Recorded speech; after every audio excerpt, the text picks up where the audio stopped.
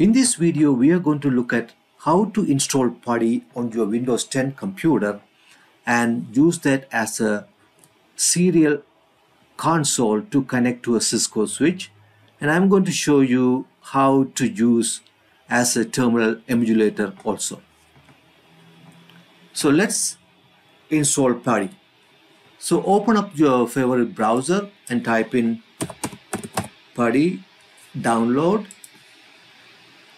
and you will get the first page first link will be the putty.org don't go to the third party to install PuTTY because uh, www.putty.org is a trusted uh, HTTPS site. And you click here you can download PuTTY here.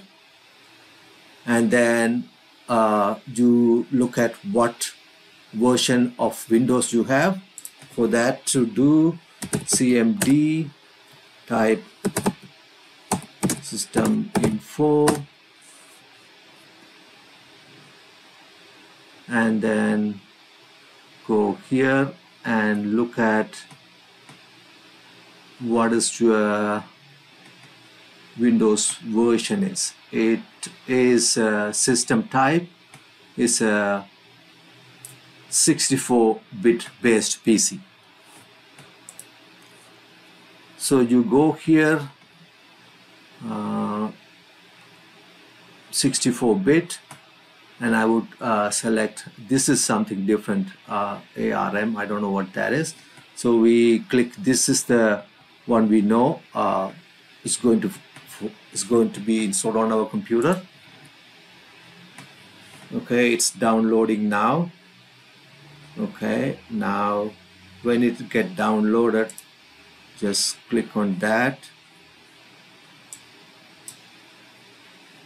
And you see welcome to PuTTY release uh, 0.76 64-bit uh, setup visa.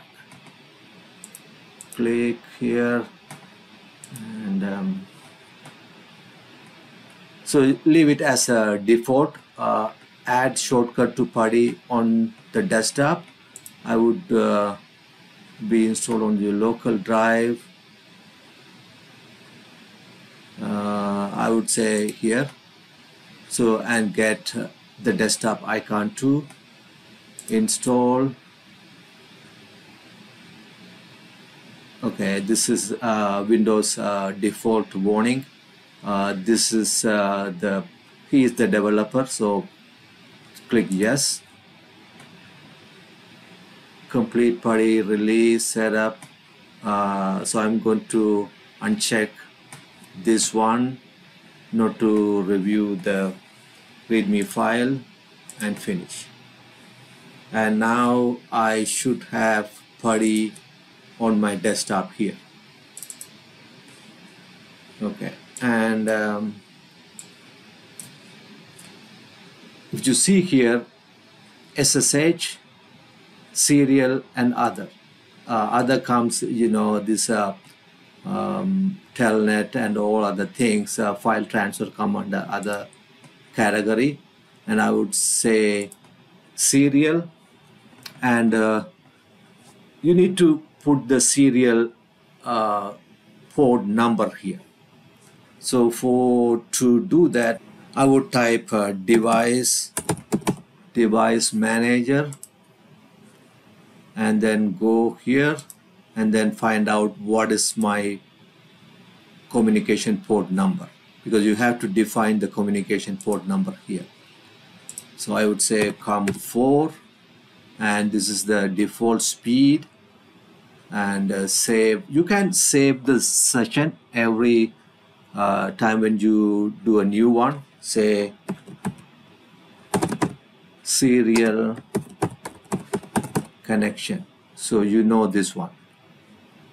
And I will save here default setting. Uh, I don't know what that is uh, but I will uh, leave it here. Serial connection.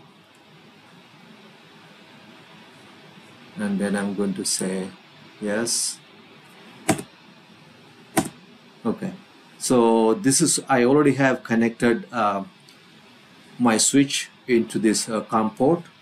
So now I am able to connect to my switch, enable COM-T, COM-T. So I am in my configuration mode. So let me exit and I should not have type end because it's searching that entry in the domain server and then I would type exit. So I'm out of this one and then I will close this one. Yes so I'm I already saved the session. So next time when you go here you have that saved session. You click open. You can connect to the the switch now. So I have another switch. I can use the same um, uh, serial connection to connect to uh, different different switches. So I would say I'm going to connect to the other switch.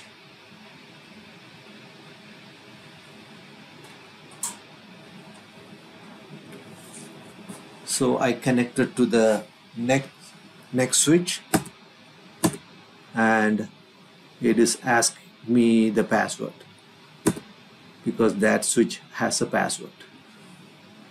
And uh, so let me exit here. Control. Yeah control C. Uh, you can break the session.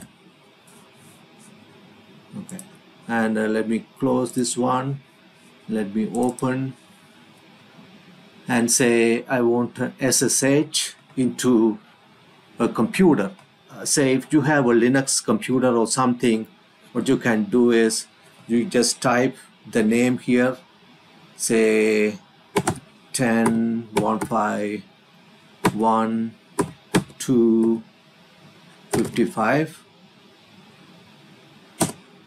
and uh, you can connect to that one if you own that computer. So I don't have the, any remote computer to connect but uh, that's a way you connect to a remote system. Uh, hope uh, this video is uh, helpful for you. Please uh, do subscribe, like and comment on the video. Uh, thanks so much. Bye.